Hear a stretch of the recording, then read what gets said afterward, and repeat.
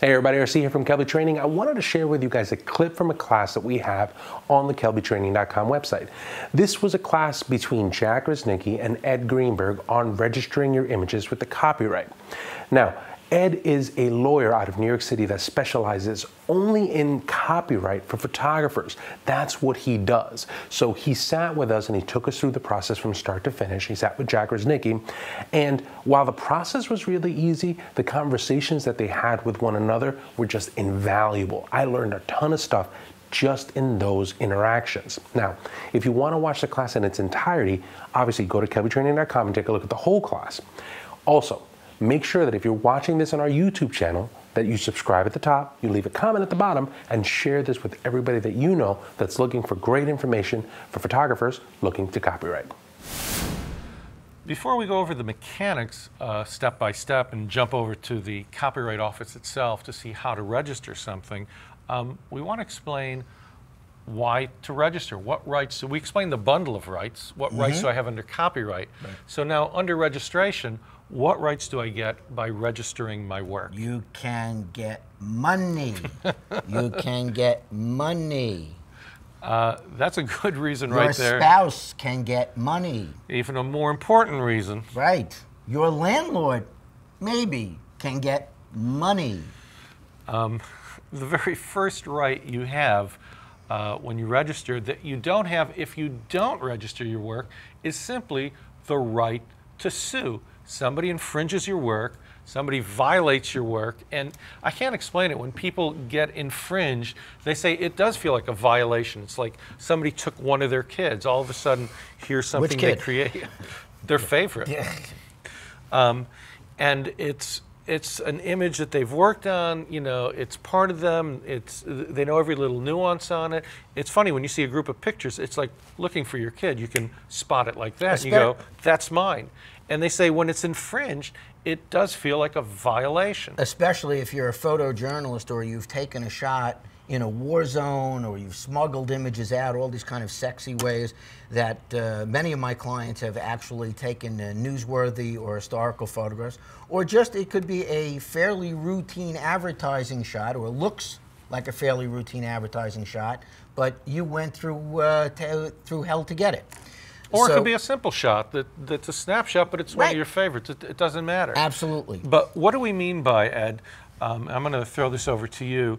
Um, why can't I sue if I'm not registered? Because the registration itself, that piece of paper that you get back from Washington, is literally the key to the courthouse. One of the most persistent, obnoxious myths that lives in this industry is going to small claims court or going to court to sue without a registration. You can't. Any judge in a small claims court should throw you out of court. The United States Constitution and the United States law specifically provide that if you have a violation of a copyright, you must, have to, gotta go to federal court. And that's serious, federal yeah. court. You must. You do not have the option you could file a case in a local court and the clerk will gladly deposit your check and cash it. And then you will be escorted literally or figuratively out of the courthouse by either your the opponent attorney, even if he or she has an IQ of seven, and there are many attorneys who have IQs that high, or the judge.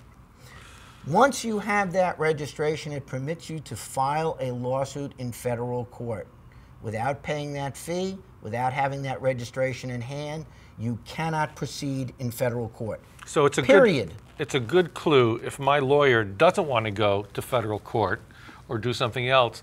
That's my clue is that he's not an intellectual property lawyer and really doesn't know what he's doing.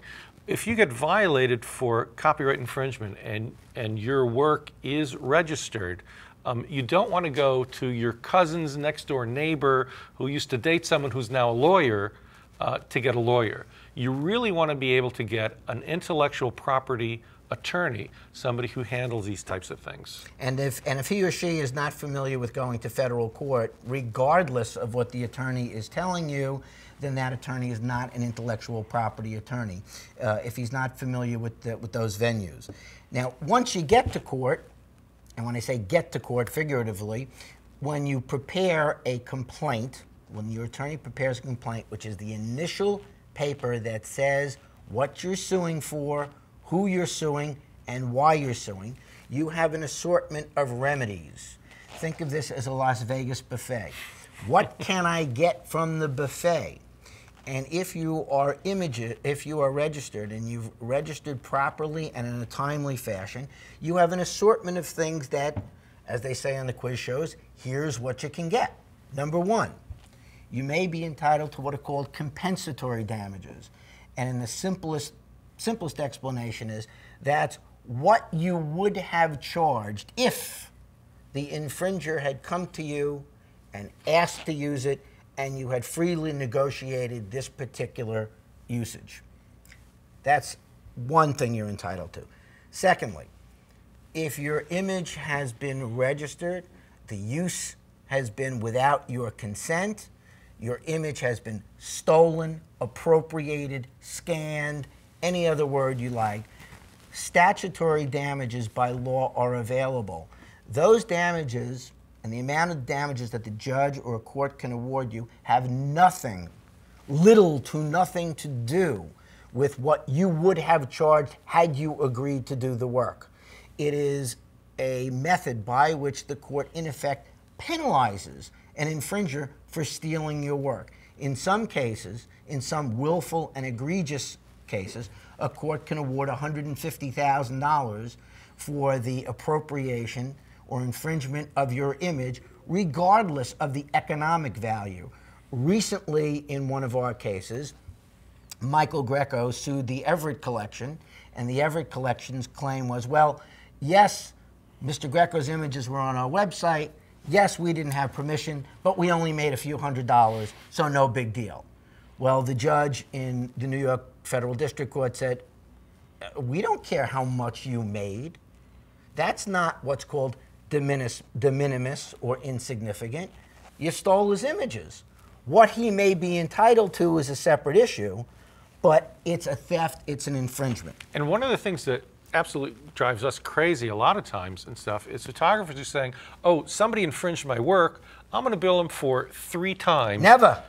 That's that's another Never. one of those myths that have Never. been floating for a long time. Never. It actually inhibits you. It will limit how much money you can make in some Right. cases. And among other things, you cannot possibly know if you see your image in the Home Depot on Smith Street in Dubuque, Iowa. You would have no way of knowing whether it's being used by the Home Depot in Los Angeles, California, or Minnesota, or anywhere else, or whether Stanley Tool or some other company has a tie in ad. So you never send out this triple invoice nonsense.